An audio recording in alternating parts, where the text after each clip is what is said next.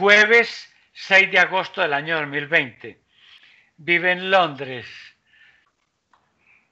Nombre de tu papá. Eh, Juan de la Cruz. Así se llama. ¿Está vivo? Sí, está vivo.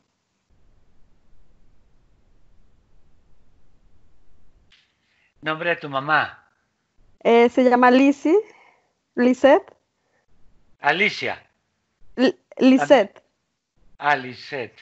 Está viva también. Sí, sí. ¿Qué estás dispuesta a lograr hoy? Vale. Em, tengo aquí em, ansiedad por el dulce, como que a veces me da como que ganas de, de comer chocolate o así, es que noto como que es una ansiedad. Ansiedad por el dulce. Arequipe del Valle. Ah, Chocolate. bocadillo, eh, Cocaditas de coco. exacto, panelitas. No, tampoco. Listo. Em, eso tengo como eh, comer con culpa, como cuando como algo pienso que tengo miedo a engordar y cuando como me, me siento culpable.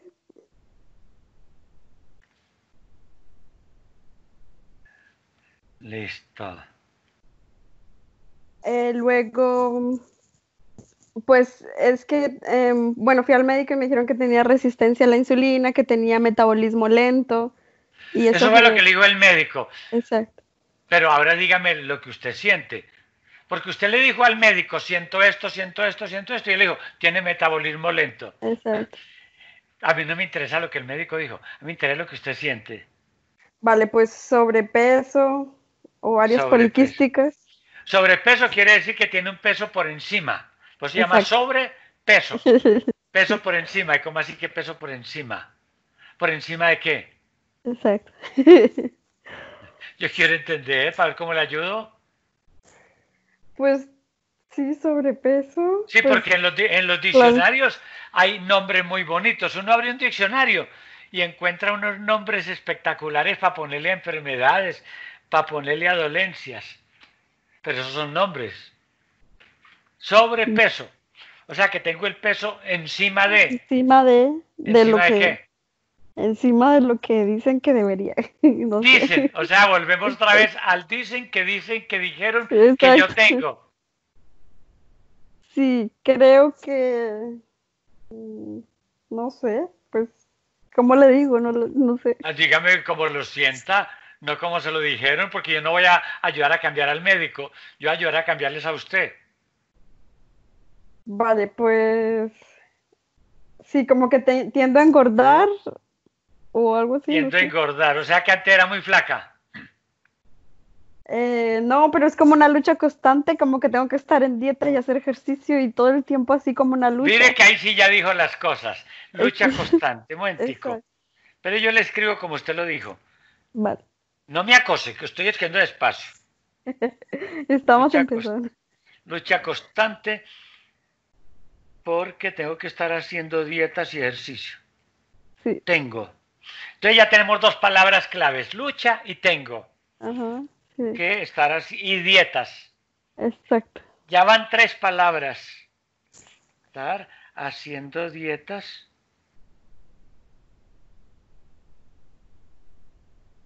Haciendo, haciendo dietas. Entonces subraya- subrayo con amarillo. Lucha, tengo y dietas. Sí, Tres palabras que el cerebro no las asimila muy bien y trata de rebelarse. Entonces, ¿cómo así que lucha constante? ¿Y contra quién está luchando usted? ¿Y cómo así que tengo? ¿Y es que a usted quién la está obligando? ¿Y cómo así que dietas? ¿Dietas para qué? ¿Aguantar hambre? mm, Entonces, listo. Ya escribí lo que tu ser no consciente, tu subconsciente quería decir. exacto. Punto siguiente. ¿Qué más quieres cambiar, retirar?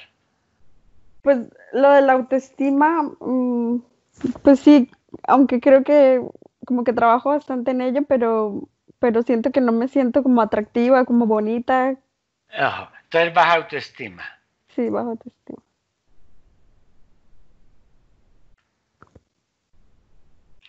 No me siento bonita.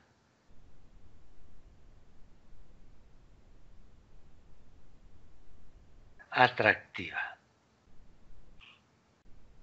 Pienso que la única bonita atractiva son las flacas. ¿Cómo así? Eso es lo que tu ser inconsciente acaba de decir. Exacto. Sí, exacto. Siete. ¿Qué más quieres que me retirar? La relación con mi mamá, eh, perdonarla. Mala relación con mi mamá. Mala relación.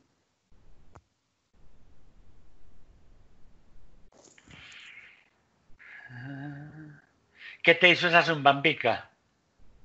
Pues como que desde siempre emocionalmente como desconectada, no he sentido como, como que ese amor de madre. Y pues sí que está ahí, pero pues no, o sea, ningún apego, no hay ninguna, eh, no es que yo sienta amor y wow, es mi mamá, no. Ella pues lamentablemente pues por la situación, ella cuando yo era niña, ella, unos nueve años, ella se tuvo que ir a España y, y hubo cinco años que yo no la vi y ahí después nos volvimos a encontrar, volvimos a vivir juntas después de cinco años cuando nos, yo me fui a España con mis hermanos, pero siempre a los golpes, a los gritos, nunca, nunca fue bien. Y nunca me entiende, incluso hasta ahora eh, yo le explico, porque es que si yo le hablo a ella, ella nunca, nunca entiende el mensaje que yo le quiero transmitir y siempre hay problemas.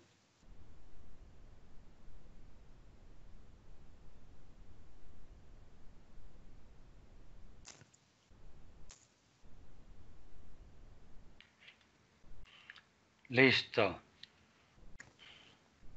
Vale, eh, pues relación con papá igual.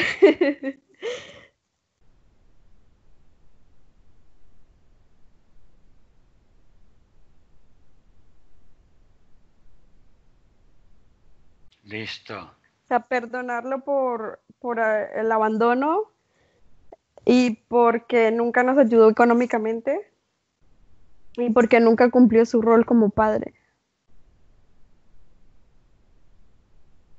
Entonces, ¿por qué le llama padre si ese no es el padre? Pues hoy en día nos hablamos. No, ese es un espermatozoide, ese no es el padre porque se acostó un rato con su mamá. Ya ese es su padre.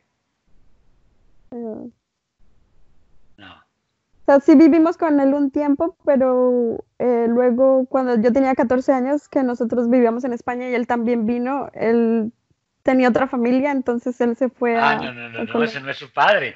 Vea, eso es como estar reclutando en el ejército londinense jóvenes para el ejército. Y dice, las inscripciones son mañana. Y mañana está la fila de jóvenes inscribiéndose para el ejército. Listo. su nombre, James Bott. Eh, eh, date, the, born date. Eh, listo, ya. Y firme aquí. Y sale ya. Ah, ya soy soldado. Ah, ya pertenezco al ejército londinense. No, señor. Usted no es soldado. Usted se acaba de inscribir, pero usted tiene que empezar un curso y ejercicios y, riesgo y suba montaña y baje y cargue el fusil. Igual aquí.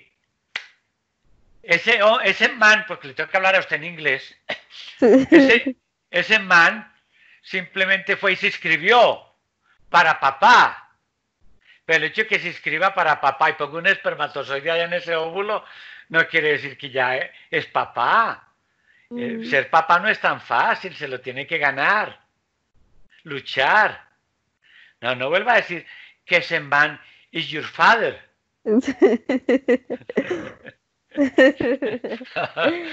no me haga reír. ok, eh, ¿siguiente? Sí, siguiente. Listo. Pues eh, cuando yo era niña, yo vivía en Colombia, pues en la casa había pues la señora que nos ayudaba con pues con la con la comida y con la limpieza. Y ella tenía dos hijas, ellas eran vecinas de nosotros. Y estas dos niñas, más la señora, me hacían bullying, se burlaban de mi peso, se burlaban de mi ropa. Y yo nunca dije nada. Y creo que hasta el día de hoy eso afecta mi autoestima. Y muchas veces me la sueño, ¿no? Como haciendo lo mismo. Espérate que estoy escribiendo. Vale.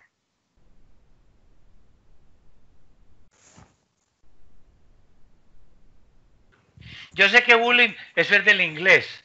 en español eh. hay palabras que dicen también lo mismo, se burlaban. Se burlaban. Se burlaban de mí. Me intimidaban. Sí. Me molestaban.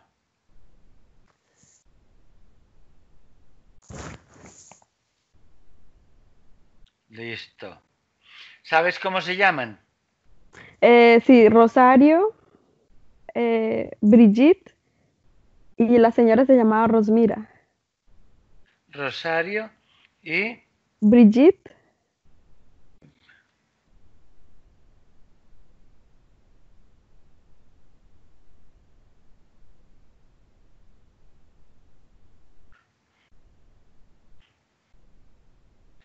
y Rosmira. Listo. Vale. Eh,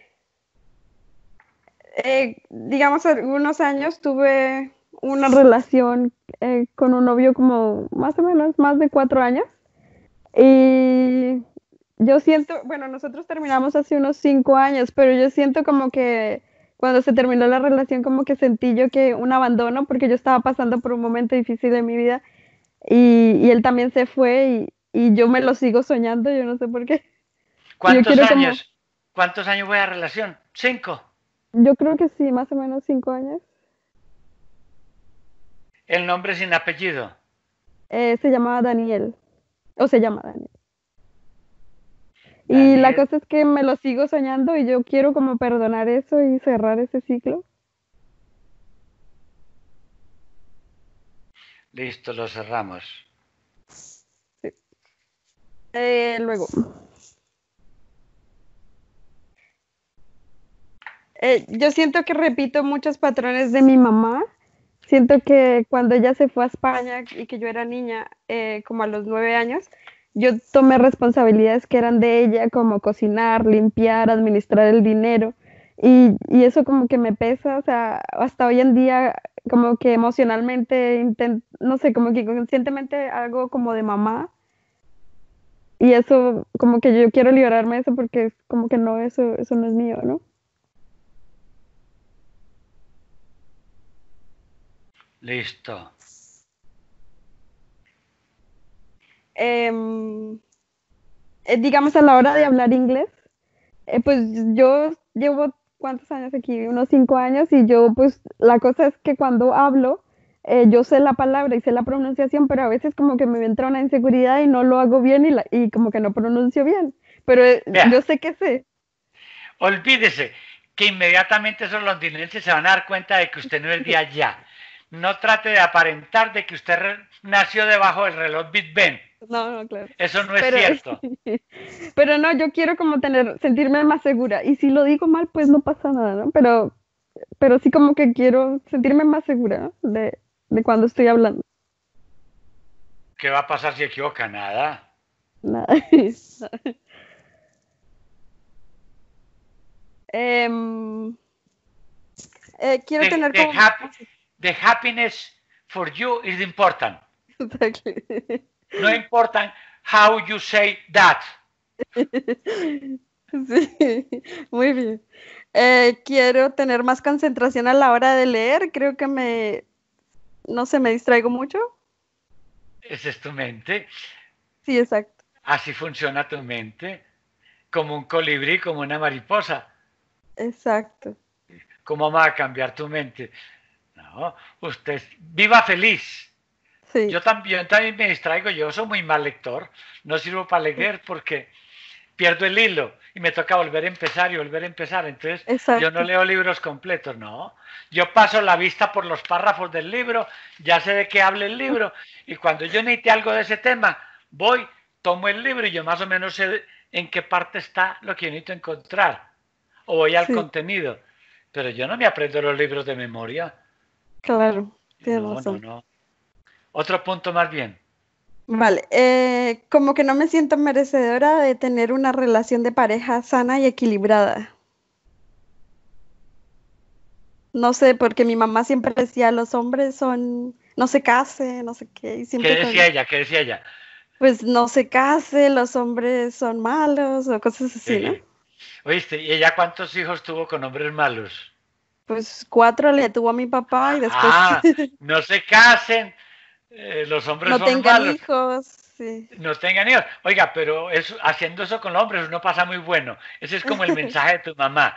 Ojo pues, no se casen. Los hombres son malos.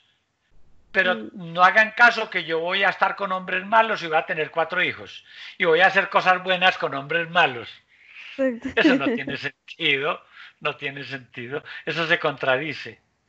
¿Cuántas cosas buenas tuvo que hacer ella con hombres malos para tener cuatro hijos? Haga la cuenta. Usted sabe que a la primera no queda en embarazo, puede que a la segunda tampoco, puede que a la quinta no. Entonces haga una cuenta aritmética bien sencilla. ¿Cuántas veces tuvo que hacer cosas buenas con hombres malos para tener cuatro hijos? y esa es la que le está aconsejando a usted. Exacto. Sí, como que hay esa negativa. Em, no le haga caso que ya está, se contradijo. Eh, ¿Qué más? Ah, tengo como un dolor en la espalda, como que siempre está ahí, como. Sí, un dolor acá. Ya, ese, ese como en español quiere decir que usted no está segura. Porque si no, segura me decía, tengo un dolor en la espalda. O sea, un Pero dolor el hecho, como le puso el cómo, ya me puso a dudar a mí. Me parece que no lo tiene. No, sí, sí, sí, sí está. Sí No, esto porque me dijo cómo. No, dije como que siempre está ahí. No, siempre está ahí, sí, sí, está ahí. Ah. Ojo con eso porque yo estoy poniendo cuidado a lo que usted dice. Vale, vale. Entonces, dolor en la espalda. Sí.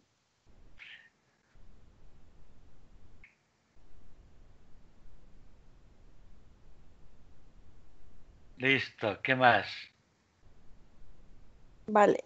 Eh, yo lo que veo es que, digamos, los hombres en la familia como que ven malo que un, no malo, como, como que no es bien que una mujer como que tenga novio. Por ejemplo, a mi tía, la hermana de mi papá, mi abuelo siempre le, le espantaba a los novios y de hecho ella nunca se casó y, nunca pues formó familia, ¿no? Entonces, eh, he visto que ese patrón se repite con nosotros. con ese es un patrón de contradicción al abuelo le parece malo que las mujeres tengan novio. Sí, pero él sí. O sea que tu abuelo era homosexual, era gay. No, él sí, él, sí, claro, no. No, yo quiero entender él por qué a esos consejos si él no siguió ese consejo. Claro. Y luego mis hermanos, ah, el día que mi hermana tuvo un novio, mi hermano, ellas, ellos vivían en Francia y entonces le dijo, ah, como tienes novio y vas a salir en embarazo, entonces cogió y la envió a, Colombia, así de día para otro. Y es como que tú no, porque tú eres sucia, ¿no? O sea, y le llamaba como puta o algo así, ¿no? Cosas feas. Oye, ¿y eso qué significa en el valle allá? Entiendamos qué significa eso.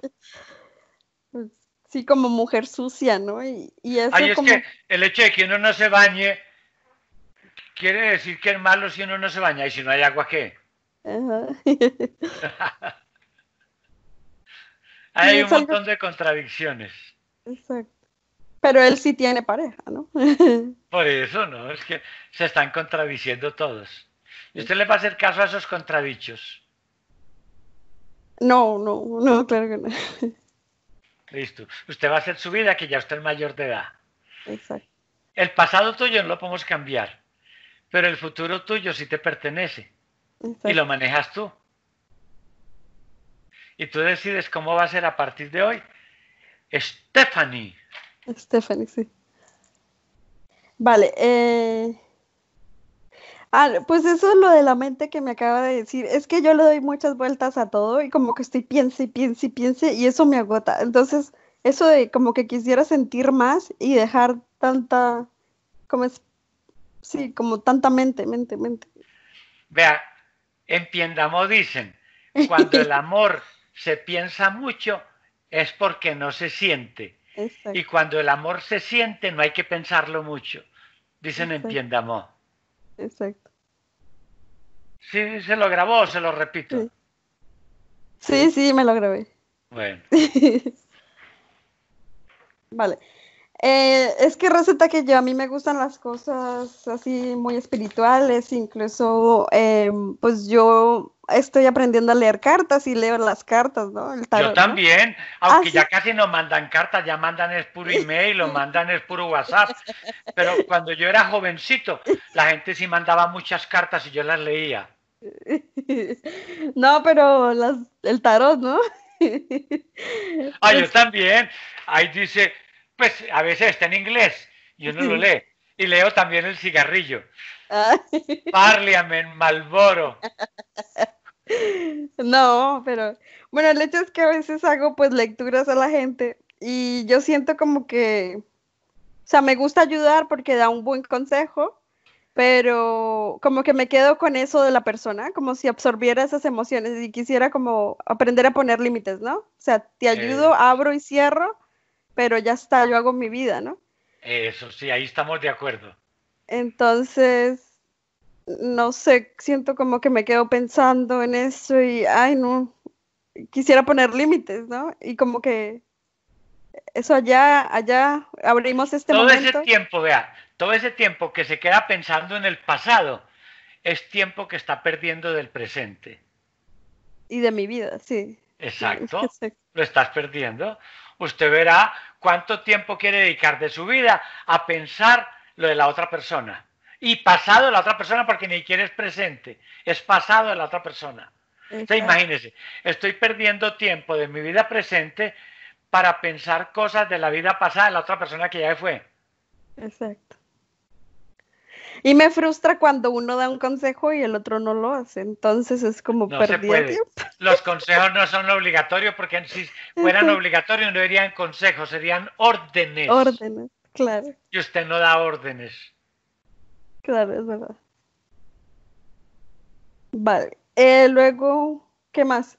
Nada, pues armonizar mi energía, ¿no? Y, y ya está. Eso es lo último. Sí, estoy esperando a ver qué más me dice. No, ya está. Listo. ¿Quién se ha muerto que te haya querido? Nadie, es que, a ver, mis abuelas por ¿Se parte murió de- nadie? Nadie. ¿Qué le pasó? Las abuelas por parte Eso. Se por murieron parte las de mi abuelas. mamá. Pero yo con ellos no tuve relación así de...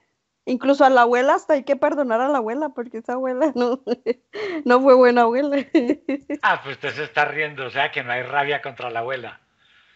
Pues es como un cero, ¿no? Es como no, nunca aportó nada, nunca. Bueno, ¿y por el otro lado qué? Ah, no, por el lado del espermatozoide menos. Ah, Eh, no, a ellos mis abuelos se siguen vivos y yo los quiero mucho, a ellos sí, ellos, O sea ellos que sí. salieron mejor los abuelos que el espermatozoide. Exacto, y, y mi tía, ellos siempre nos, sí, mucho amor, mucho amor de ellos, sí, siempre. Bueno, Entonces, de la parte de mi mamá, no, no, se murieron e incluso a mí no me dio nada, ni era como nada. ¿alguna amiga, algún amigo? Nadie, es que así que se haya muerto nadie. Entonces, ¿a quién morimos? Ay, no. Pues digamos, por ejemplo, mi abuelo paterno, yo a él lo quiero mucho, pero él sigue vivo. Yo no quiero que se muera. Ah, Bueno, algún día se va a morir. Ah, eso sí, eso le iba a Eso sí decir. lo tengo, lo tengo Hay que presente. dejarlo que él se muera cuando le tenga. Sí, pero eh, sí, yo creo que él me dio muchísimo amor y me sigue dando mucho amor. Mi abuelo. ¿Cómo se llama? Él se llama Marcos. me ha dado mucho amor. Sí.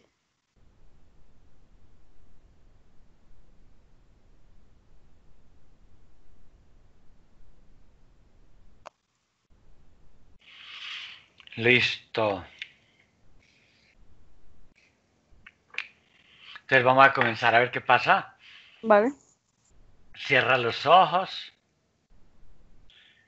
Vamos a iniciar con un ejercicio preparatorio,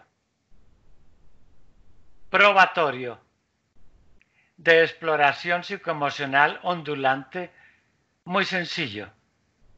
Mientras yo cuento desde 1 hasta 5, elige un momento cualquiera de tu vida, triste o alegre, miedo o enojo, niña o grande, real o imaginario. Y al llegar a 5, quiero que me digas eso que elegiste.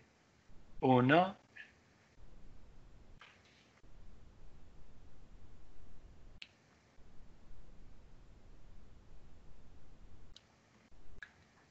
dos,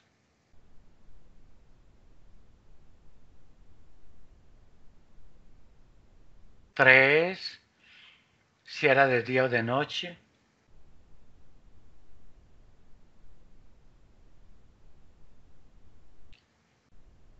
Cuatro.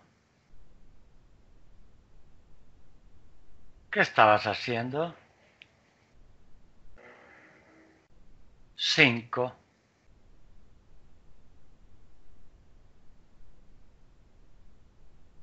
Mm. Mi mamá se fue.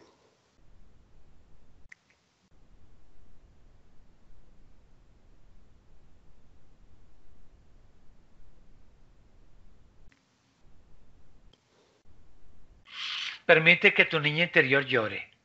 Tu niña interior está triste, déjala que se desahogue.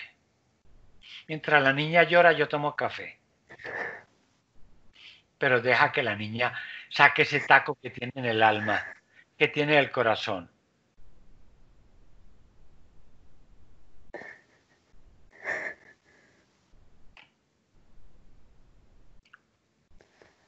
Mientras la niña llora, yo quiero hablar un momento con Lisette. Permítele que se exprese a través de tu mente. Voy a contar de una a tres y cambias. Uno, dos, tres, cambia. Lisette, la niña está triste. ¿Qué fue lo que pasó? Es que me, me tuve que ir.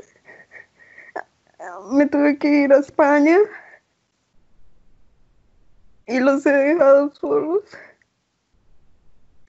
Los he dejado con su padre.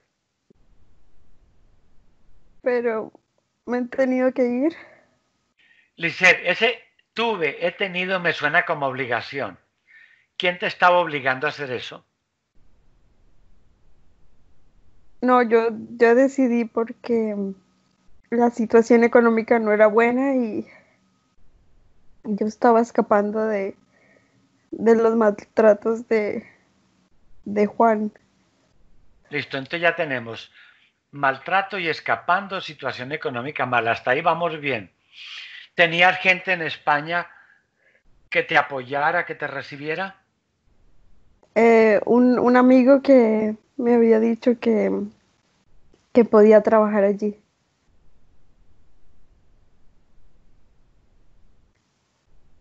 Ajá.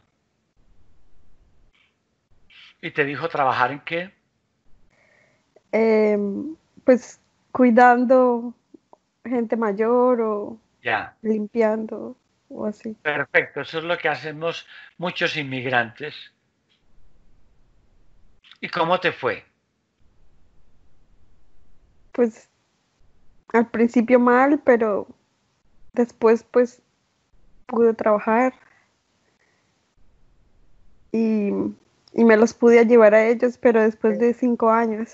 Eso te iba a preguntar, que cómo te había ido con los niños. Pues no los vi en cinco años. Pero les hablabas por teléfono o les Muy ponías poco. mensajes. Muy poco. ¿Por qué lo hacías tan poco, Lisette? Pues son niños y no entienden, ¿no? Entienden más que los adultos, Lisette. Mucho más. Los adultos dicen mentiras, los adultos tienen tapujos, los adultos tienen secretos, los adultos, los niños son puros, entienden sin filtrar. Pues error que cometiste. Eso afectó mucho a la niña. ¿Le pides perdón? Sí, sí, claro. Entonces pídele perdón a tu niña. Y explícale por qué lo hiciste.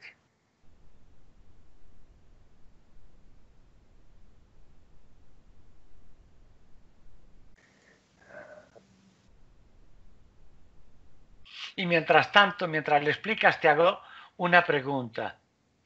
Ahora que ya viste a tu niña, ya grande, ¿cómo te parece? ¿Fea o bonita?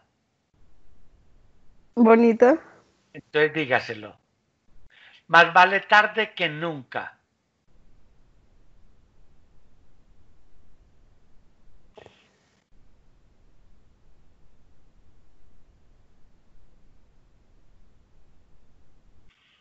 ¿Qué más quieres que esta niña linda, bonita, te perdone?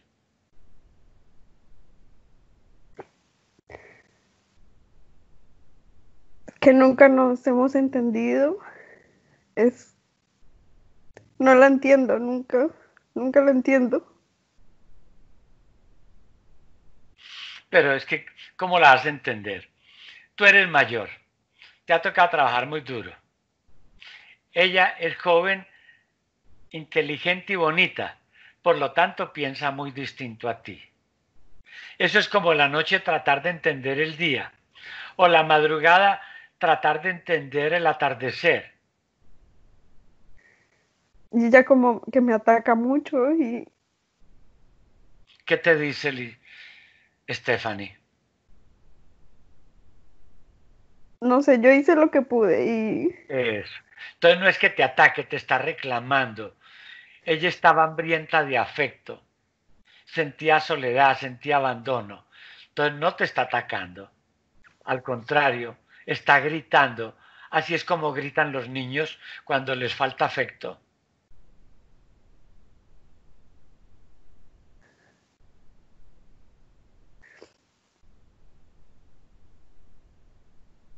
Cuando uno tiene un cáncer, no es que esas células lo estén atacando, es que esas células están gritando, están diciendo aquí está pasando algo, pero no es que las células estén atacando el organismo, no.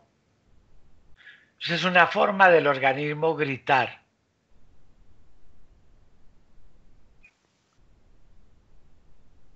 Claro, pero yo hice, yo hice mucho y, y les di lo material y me esforcé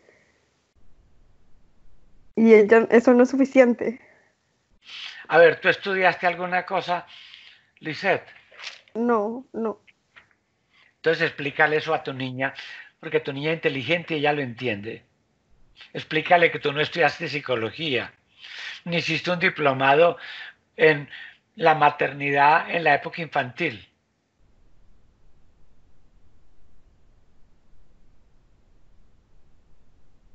explícale que tú eras una persona medio campesina, no sé cómo era, no sé dónde naciste, y que tuviste que ir a Europa, un país nuevo, desconocido, gente nueva, a ver cómo salías adelante o atrás, pero salías. Explícale eso a tu hija linda.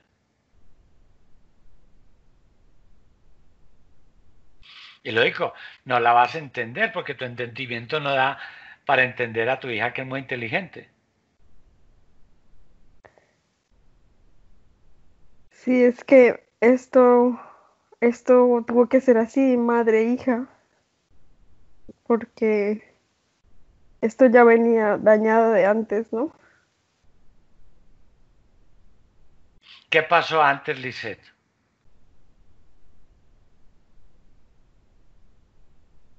como que como que tiene que no ser madre e hija para que haya amor. Ajá. ¿Y a ti nadie te enseñó a ser madre? No. O sea que tú no te casaste con Juan de la Cruz con afecto por afecto para formar una familia. No. ¿Qué pasó? ¿Cómo fue esa relación? Em, yo me quedé en embarazo del, del primero. Ajá. Y éramos novios, llevábamos muy poco tiempo. Ah, entonces no eran novios, eran amigos. Ni es que ni siquiera amigos, es que ni siquiera conocidos, porque conocidos, como la palabra lo dice, es nos conocemos. Y usted no me conocían. Exacto. Mejor dicho, tuviste un encuentro con un desconocido y quedaste en embarazo. Sí, entonces nos casamos. Y, pero claro, ya habían maltratos psicológicos. Claro, es que esa relación empezó con amor, Lisette.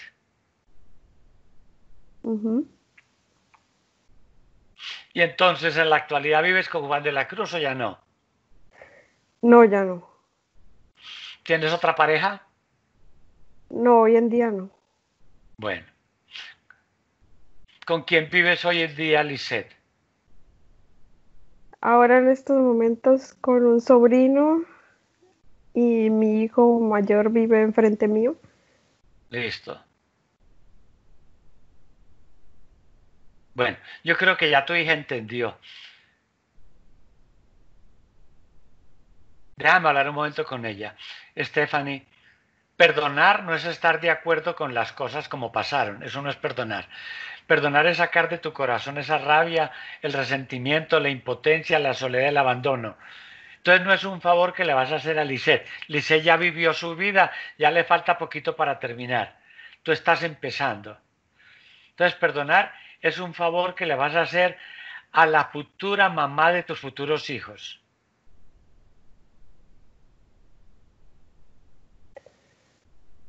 Entonces perdonas a la abuela de tus futuros hijos. Sí, lo que pasa es que no, no comparto la idea de, de que si, si te están pegando o si te está pasando algo feo que no te gusta, porque sigues ahí, no? Listo, déjame yo le pregunto eso. Lisette, la niña está haciendo otro reclamo, que tú le pegabas, la gritabas, la regañabas.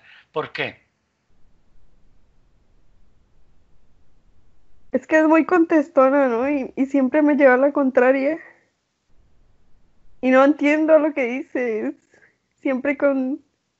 No entiendo cómo, cómo se expresa y... Ah, es que es inteligente, ¿qué vamos a hacer? Así la hiciste. A ver, yo pregunto, ¿quién hizo a la niña? El lechero con la vecina. En serio, ¿usted se cree ese cuento? ¿O la hizo usted? La hice yo. Entonces usted la hizo como la hizo. Entonces yo pregunto, ¿por qué le hace reclamos? ¿Por qué la grita? ¿Por qué la castiga si usted la hizo? Ahí sí te puse a pensar, Lisette. Mejor dicho, pídale perdón. Entonces se equivocó. Es como un, un pintor. Hace un cuadro y luego se para al frente del lienzo y empieza, usted es muy feo, vea eso, Ve esas flores parecen marchitas. Ve ese florero torcido. No, qué cuadro tan feo.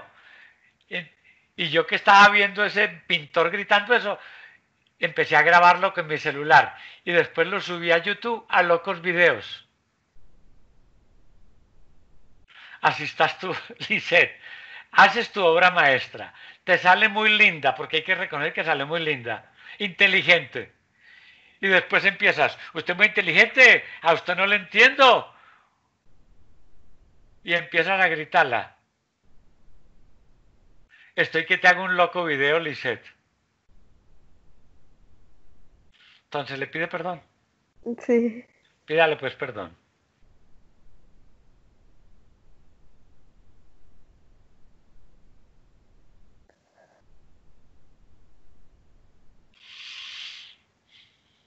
Stephanie, ¿la perdonas por haberte hecho como te hizo, bonita, inteligente?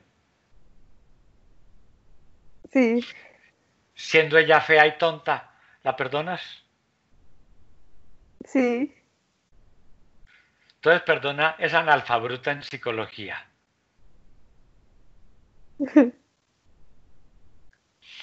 Lisette, ¿qué más quieres que esta niña linda e inteligente te perdone?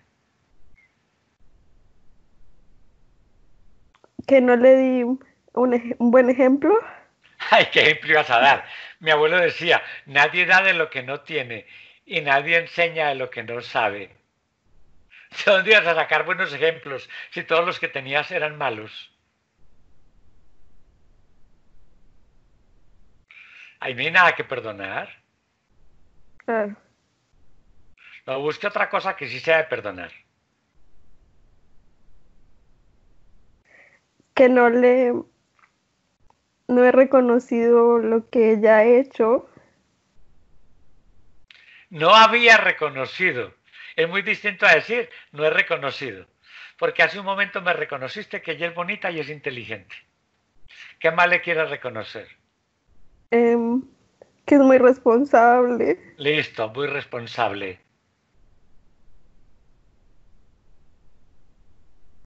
que ¿Tiene se buenos de- sentimientos? Sí. Listo, buenos sentimientos. ¿Qué más? Ella como que se hizo como como mi rol cuando yo me fui y Asumió tu responsabilidad, listo. sí. Sí, Entonces, entonces, ahora viendo todo eso, ¿te sientes orgullosa de tu creación? sí, claro. Entonces díselo.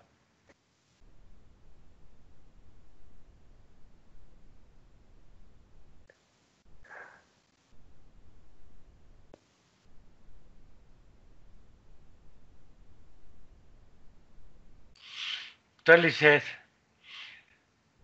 ahora que esta fea tonta se siente orgullosa de su creación bonita e inteligente, ¿cómo te sientes?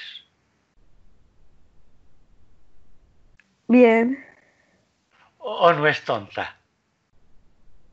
No, No, no es tonta, yo sé que no. Imagine, le tocó ir a luchar por allá bien lejos, a España. ¿Y es fea o no es fea? no, no es fea. Yo estoy listo, ya, ya quedó todo arreglado. Si veo que hablando, dialogando, se entienden las personas. Bueno, Lice, me despido porque necesito continuar con tu hija. La paz del universo te acompañe. Ahora, Stephanie, ve profunda a otro momento que te marcó, que te sentiste mal.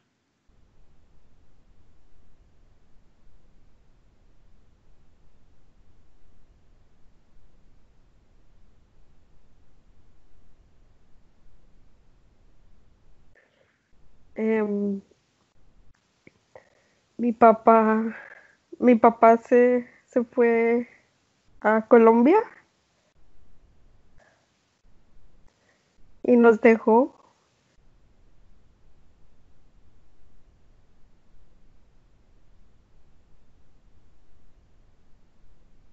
Y ya no volví a saber de él como en unos tres Oye. años. Me pareció entender tu papá. Ese señor, sí. Ah, ya me decía, ya estaba extrañado. Mi papá, y es que esta joven, linda, bonita tuvo papá.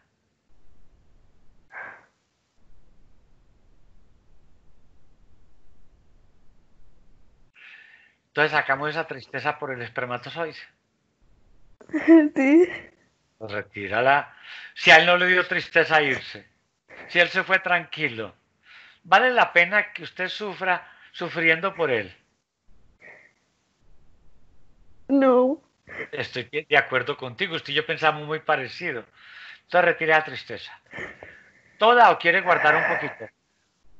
Todas. Entonces con una escoba barra todo eso. Pura basura emocional. Pero barra para el lado de allá, porque para este lado yo tengo mi taza con el café. Y no quiero que esa tristeza le caiga a mi café. Bien barrido. Aurelio, ¿y por qué bien barrido? Porque usted el día de mañana va a ser mamá. Necesitamos mucha alegría, mucho amor en el corazón para tus futuros hijos y tus futuros nietos. ¿O usted no va a ser una abuela bien bacana? Sí. Eso es. Entonces barra muy bien, que quede limpio. No dejen nada de basura emocional en el corazón.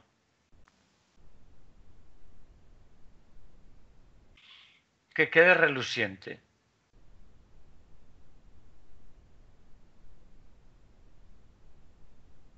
Recuerdo esos viejos tiempos cuando usted era niña, que tenía como nueve añitos y le tocaba barrer, limpiar.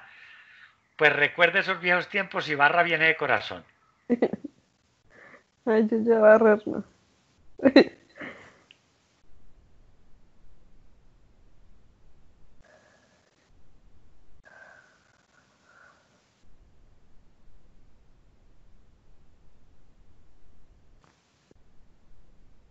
¿Me dices cuándo?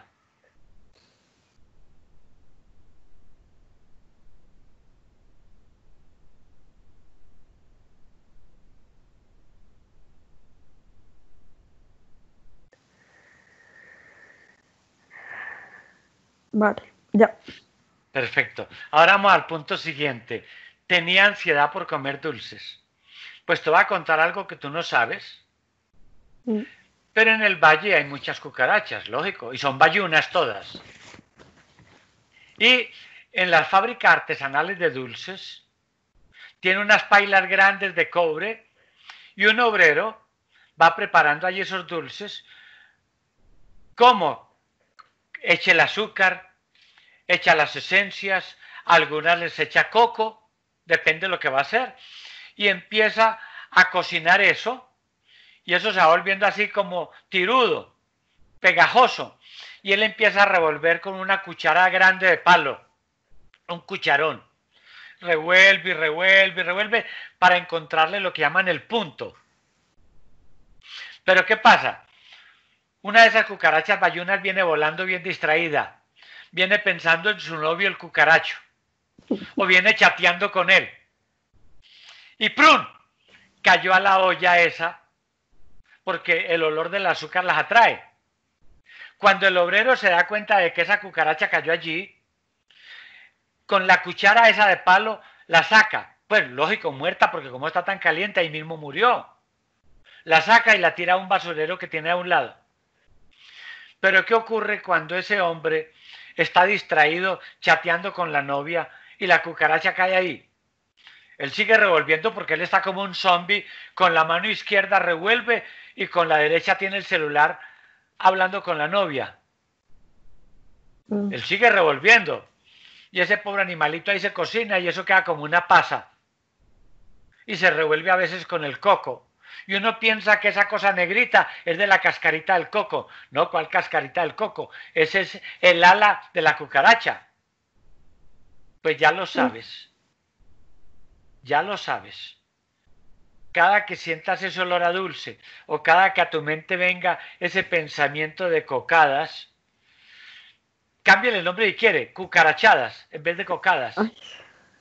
Pues como usted lo quiera llamar, al fin y al cabo es usted. Pues acuérdese de eso. Pero afortunadamente usted tomó la decisión inteligente de su vida. Apartar de su vida todos esos dulces, esos chocolates. Bueno, y con el chocolate pasa algo, como el chocolate es oscuro, ¿cómo se va uno cuenta de que hay ahí un trocito de cucaracha? Mm. Uno no se da cuenta. Uno piensa que el chocolate es así. No, claro, que es así después de que le cayó la cucaracha, porque antes no era así. Pero ya tú lo sabes y ya tomaste una decisión inteligente hoy. Asco, repugnante, fuera, out, le traduzco del inglés. Out significa fuera. Y se pronuncia más o menos así, out.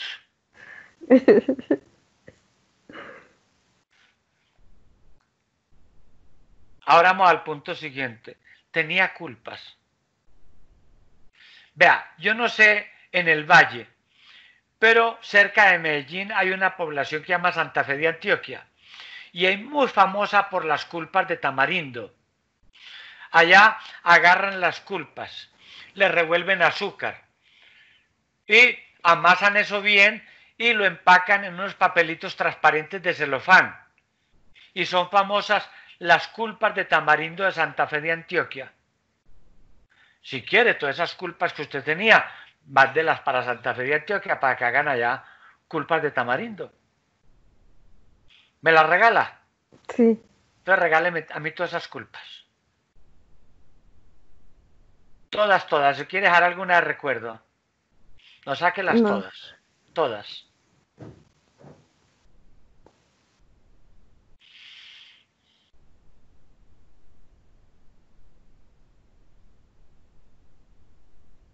Cuando la retirado me dices.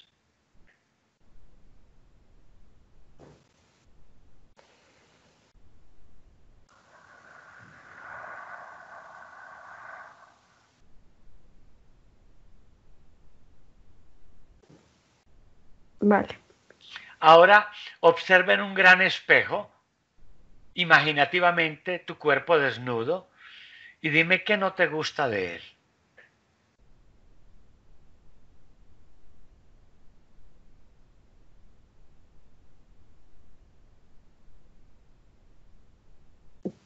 no sé, como que no me siento cómoda en él.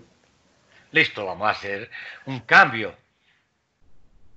Vamos a retirar ese cuerpo. Yo tengo aquí una caja con varios cuerpos que recibí de diferentes partes y a lo mejor encontramos uno que te guste. Entonces, permiso, yo retiro ese cuerpo. Yo lo retiro, lo retiro. Ahora, ahora voy a colocar este que recibí de Polonia. Perteneció a la señora Von Braun estaba en un campo de concentración. Tiene ahí unos números en la piel, pero no te preocupes. Decimos que eso es un tatú. Te traduzco, un tatuaje. Pero es un número que le pusieron en el campo de concentración. Está muy flaco porque usted sabe que ella aguantó mucho hambre. Pero a lo mejor le gusta. A yo le coloco este cuerpo a la señora Von Braun y mira ahí en el espejo si te agrada. Tiene una ventaja. Si te gusta, te dan pasaporte alemán. Mm. Mírelo bien a ver. No te preocupes por lo flaco, porque si comes un poquito, eso va volviendo a tomar otra vez cuerpo, forma. O sea que eso tiene solución.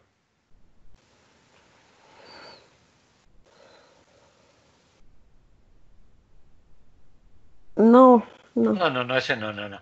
Entonces, permiso, yo, yo retiro ese del año Von Brown voy a colocar este que recibí de Alaska. Perteneció a la señora Esquimal La Fría. Está muy blanco, pero tranquila, que como estaba ya en Alaska, pero si usted se va unos días para el trópico, se acuesta en la playa, al sol, eso va tomando color. Lo importante es que a usted le guste. Está muy cubierto de pieles y las pieles me la regalaron lo que llaman en Colombia de ñapa, de encima. Si le gusta, le entregan las pieles a usted. Mírelo bien a ver.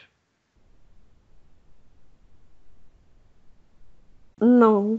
No, ese tampoco, no, no es que no. Permiso, yo retiro el de la esquimal la fría. Mm. Ahora voy a colocar este que recibí del Congo. Perteneció a la señora Kunga Malunga. Esto un poquitico negro, pero es que así son allá en el mm. Congo. Está culona y tetona, pero es que así son allá. ¿Cómo le vamos a pedir a la señora Kunga Malunga que sea flaca como una campeona de natación olímpica? Nada por delante, nada por detrás. Pero si a usted le gusta, pues listo. Y queda con pasaporte del Congo. Mírelo bien a ver. No permiso, yo retiro el de Kuga Baluga. Ahora voy a colocarte este que recibí de Australia. Perteneció a la señora Canguro Lobrinca. Esa panza está un poquito rara, pero eso con un buen vestido, buenas en agua, se disimula. Lo mismo que esas piernas un poquito largas, pero tranquila que usted no se ponga tacones. Ponga de zapatos bajitos y mire a ver si le gusta. No, tampoco. Permiso, yo retiro ese y voy a colocarte este que recibí de Borneo. Lo veo y no lo creo. Tiene muchos pelos, muchos vellos, pero tranquila, que con un buen envase de crema de depilación lo vas corrigiendo. Lo vas echando crema depiladora, crema depiladora, hasta que lo corriges. Míralo bien ahí en ese espejo a ver si te gusta. No. No, no, no, no. Ve, hagamos algo. Voy a colocar el original de fábrica. El que el universo en sabiduría de astros, de galaxias, de estrellas, de montañas, de mares, de lagos, de bosques, escogió para ti. El original. No tiene silicona, te lo advierto de una vez, es original. Míralo bien ahí en ese espejo a ver si te gusta.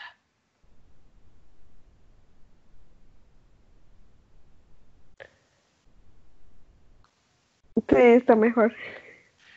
El mejor de todos. Y lo bueno es que fue usted la que se dio cuenta.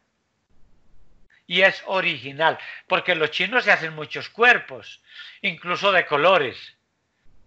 Pero son chinos y en su mayoría son estos con silicona. Entonces ahora sí, lo aceptas con mucho amor. Sí. Listo. Ahora sí camina como una pasarela y mira en ese espejo a ver cómo te parece.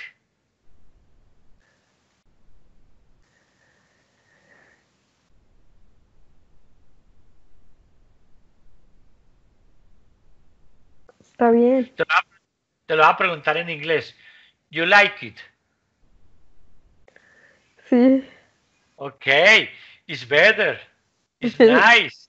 It's beautiful. Wonderful. Entonces ahora sí, proyectale mucho amor a ese body. Y llénalo de happiness for all the skin. Te traduzco, llénalo de felicidad por toda la piel. How do you feel? ¿Cómo te sientes? Bien. Eso, very happy. Sí. Ahora vamos a otro momento.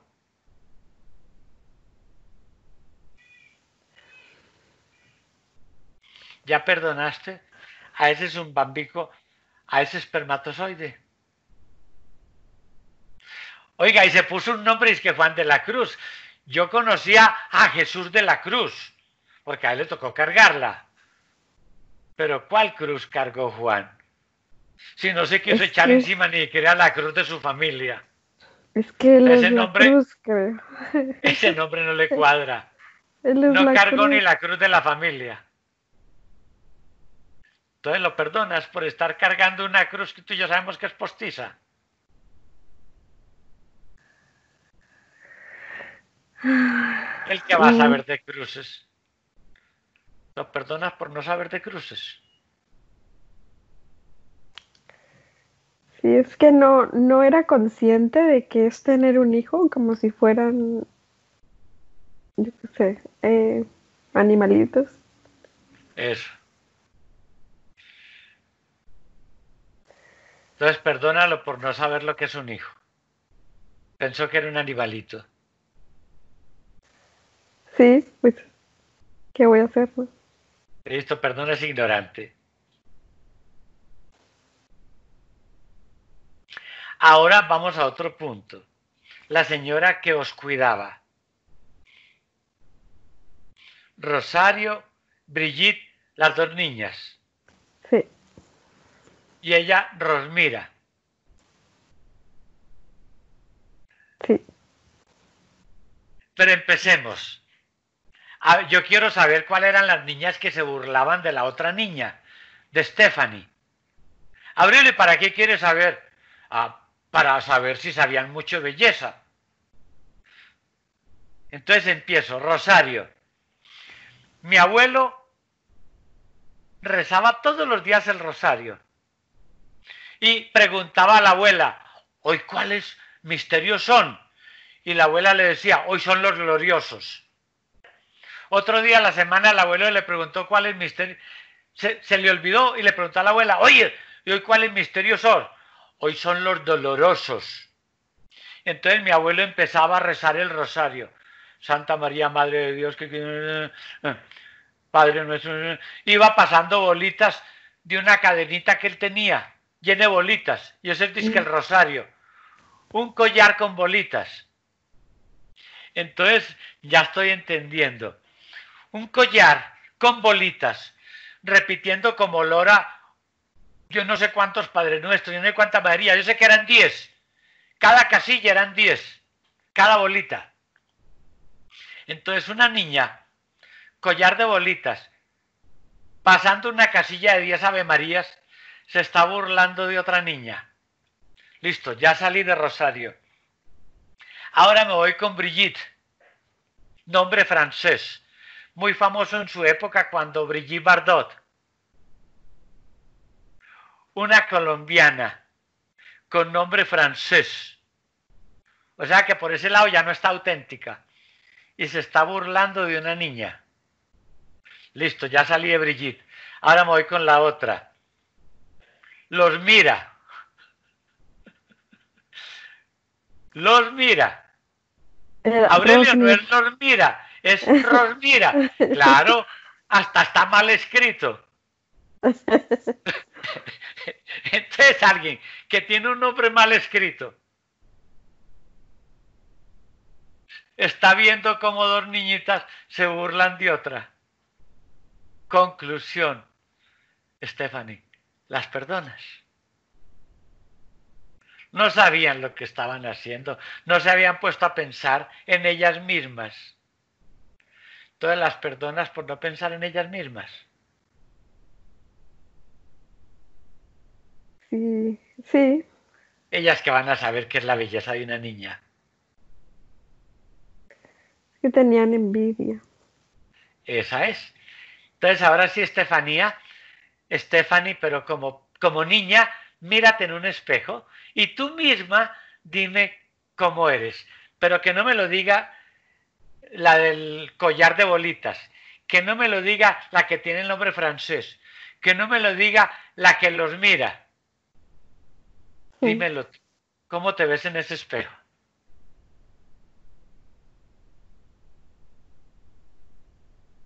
Bonita, hermosa. Ya, eso es lo que yo quería saber. Ya. Entonces vamos a otro punto. Vamos a hablar de Daniel el travieso. Que parece que sucedió algo parecido. Estuvo como un año con y después se fue. Aurelio no fue un año, fueron cinco. No, señorita. Usted puede que sepa mucho belleza, pero de calcular años está pésima. Aurelio, ¿cómo así que pésima? Sí. ¿Cómo se atreve a decir que usted tuvo cinco años con Daniel? Me quiere decir que cuando usted estaba dormida, inconsciente, estaba con él. Si usted duerme ocho horas diarias, está inconsciente. Ocho horas diarias la tercera parte de un día, que son 24. Por lo tanto, en cinco, usted estuvo dormida dos. Hay que restarlos, no los puedo contar. Quedan tres.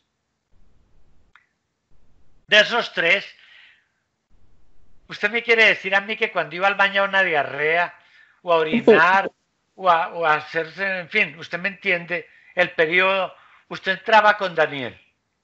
Todo ese tiempo hay que restarlo. Son dos horas diarias de aseo personal. Conclusión, hay que restar seis meses más. Entonces ya vamos en dos años, cuatro meses. Mm. Sigamos. Daniel trabajaba. Sí, vivía en no, no sé, vivía en otra ciudad y yo vivía en Valencia. Imagínese, peor todavía. Hay que descontar el tiempo de transporte. Si usted se iba en el AVE es una cosa, pero si iba en autobús es otra. Hay que restar todo ese tiempo del AVE o del autobús. Hay que restar las ocho horas diarias de trabajo. Otros dos años. Entonces, ahora sí, realmente cuánto tiempo estuviste con Daniel? Dime la verdad. Pues muy poco, ¿no? Muy poco, muy poco. Entonces te perdonas por haberte sentido mal pensando que has estado cinco años con Daniel.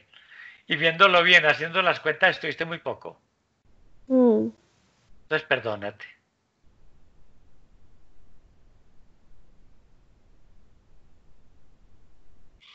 Y ya que te diste cuenta que perdiste tiempo de tu vida, lo desperdiciaste, vas a seguir desperdiciando más tiempo de tu vida soñando con él. Ay, no. Ya desperdició los días, no desperdicie las noches. Mm. Entonces retíralo también de tus sueños. Y si quieres soñar con alguien bien bonito, bien hermoso, lo más hermoso, lo más lindo que usted haya podido conocer en su vida, si quiere sueñe conmigo.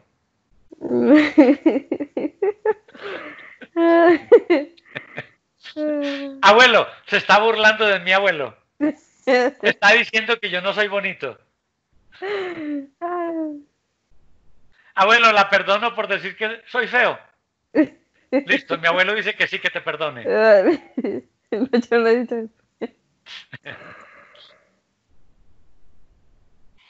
Bueno, sigamos con el punto siguiente. Repetía muchos patrones de mi mamá. A ver, miremos quiénes fueron los patrones de su mamá. Uno de los patrones de su mamá fue Manolo, que fue alguien que la contrató, era un patrón de su mamá, Manolo. Otro patrón de su mamá fue Vicente. Vea, ya está, le da risa. Ya le da risa hasta acordarse de los patrones de su mamá. No, vamos al, vamos al otro punto que ya usted me está haciendo reír a mí también. Hace cinco años vivo en Londres y a veces dudaba para hablar, para preguntarle a otra persona, What is your name?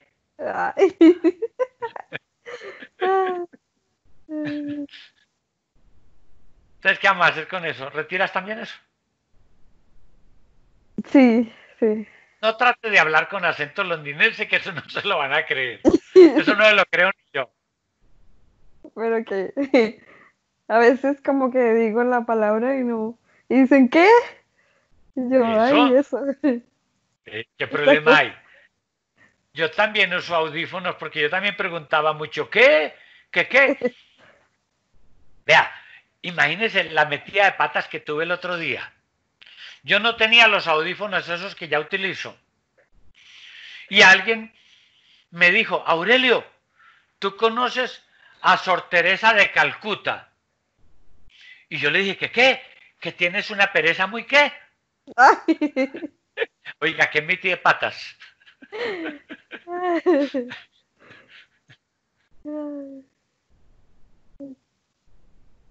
Pues sí, ¿no? Sí, no, no. De vez en cuando uno tiene que preguntar qué qué, porque no entendió bien. Y hay, y hay esos londinenses, esos ingleses, que como yo no escuchan muy bien. Entonces los perdonamos por no escuchar muy bien. Sí. Entonces perdónalos. ¿Los perdona a todos o quieres dejar sin perdonar a Sir Francis? no, perdone, eso es No, no, perdona también a Francis.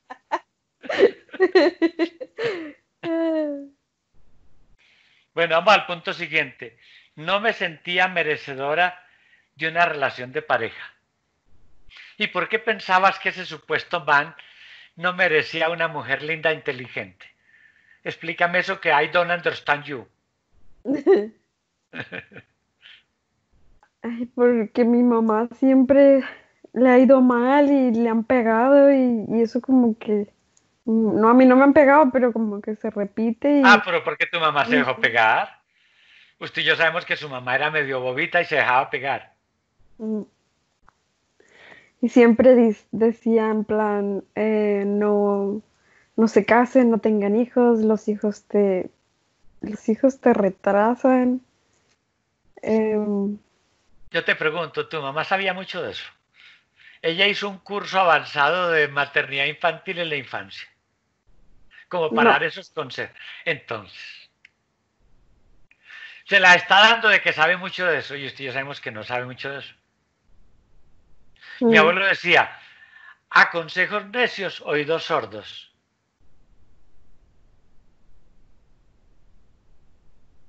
No le hagas caso.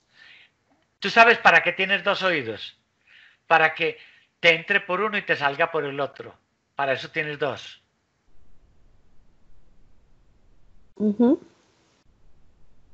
Consigue un buen hombre. Eso sí, no se consiga un boxeador. Porque un boxeador si le va a dar golpes. O mm. un luchador le va a dar luchas. Mm. O un borrachito le va a dar licor. No, escoja bien. Que usted está joven, y está bonita y es inteligente. Mm. entonces cojo bien. Claro, escoja bien, porque va a escoger mal. Si a usted nadie la está obligando a escoger.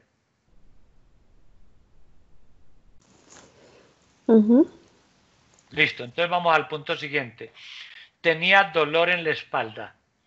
Tu mente profunda se puede comunicar con la espalda. Tu cerebro es muy sabio. Pregúntale a tu espalda qué estaba causando el dolor.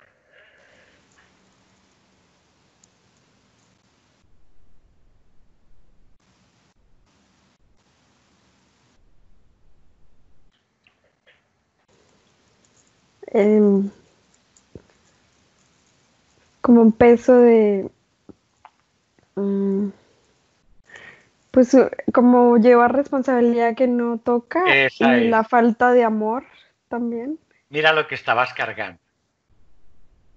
Como ya no vas a seguir cargando eso, entonces ¿para qué necesitas ese dolor? Ya no necesitas.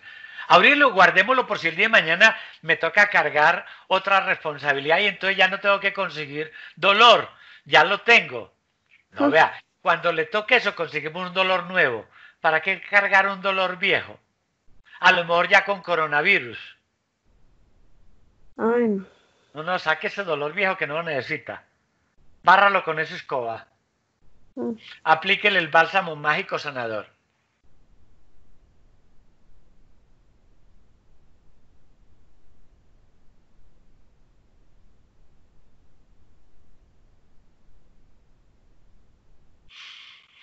Así era mi abuelo, recogiendo cosas que se encontraba y me decía, por si el día de mañana necesitamos, por si el día de mañana necesitamos.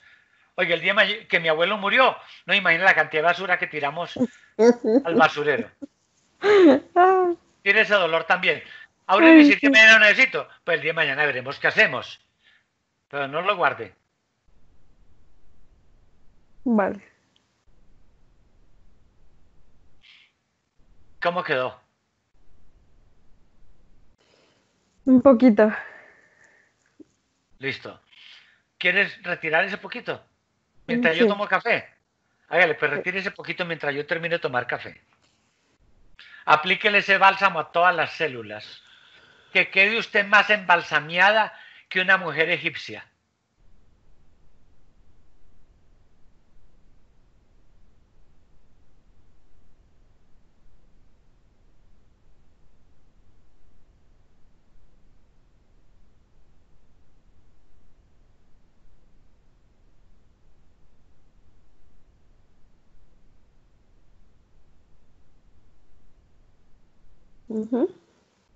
Listo, vamos al punto siguiente.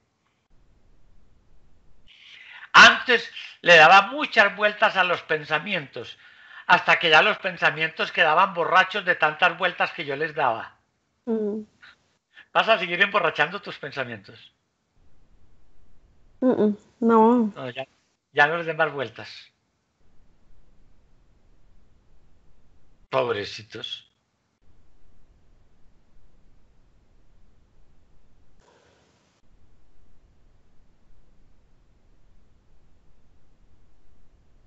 ¿Listo? sí. Ahora sí llegamos al punto bueno. El momento de hablar, platicar telepáticamente con el abuelo Marcos, porque la telepatía es el medio de comunicación más antiguo que conoce la humanidad, la transmisión de los pensamientos. Abuelo, te voy a hacer dos preguntas de tu nieta que le hago a toda la gente. Usted no es el único. ¿Tu nieta es bonita o es fea? Bonita. ¿Inteligente o tonta? Inteligente. ¿La quiere mucho? sí. Entonces envíale un abrazo virtual a la distancia, porque estamos, abuelo, usted sabe, con el coronavirus. Entonces envíele un abrazo de oso bien poderoso a la distancia.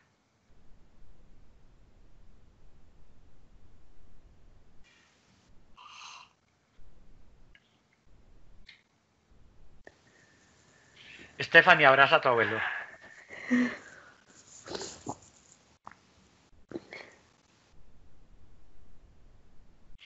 Abuelo, ya terminamos.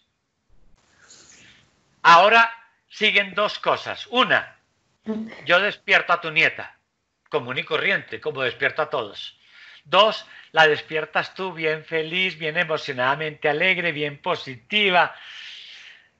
Ahora sí, dispuesta a ser una supermamá y superabuela. ¿Qué decides? ¿La despiertas tú? ¿Sí o sí? Sí. Hágale pues, abuelo. No tuvo más escapatoria. Despiértela usted.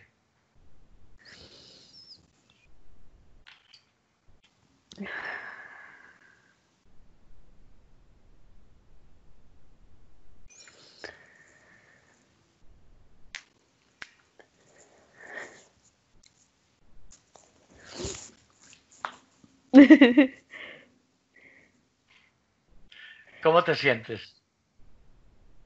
Muy bien. ¿Tú qué me estabas diciendo de dietas que como que no entendí bien?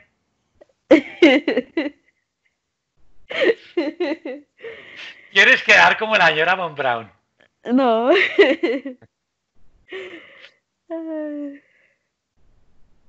No. ¿Te sientes feliz así? Sí, sí. El que te ha de querer así, que te quiera así. Pero usted mm. no tiene por qué aparentar para que la quieran por las apariencias. Para que el día de mañana el cuerpo cambie y ya el otro, ah, no, es que con esa pues no, que yo no me casé. No, yo no me casé con esa. No, no, yo no quiero seguir con esa, yo me voy a buscar otra como yo la quiero. No. Exacto. El que te acepte, que te acepte como eres. Exacto. Entonces, ¿te sientes feliz? Sí, sí. Claro que sí, sí. Me siento tranquila. Eso, ¿qué más sensación tiene en este momento? Porque tus fans están escuchando, están pendientes de lo que su estrella les dice. Eh, mucha energía, em, así como aquí, mucha energía aquí y mucha tranquilidad en todo el cuerpo. Como tienes fan también que no hablan español, diles lo mismo, pero en inglés. en inglés, like what I'm feeling.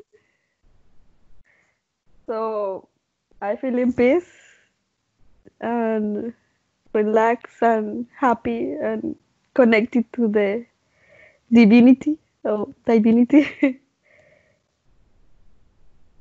no, I'm I I think I like accepting my body like how it is now, and anyway, it's perfect, no.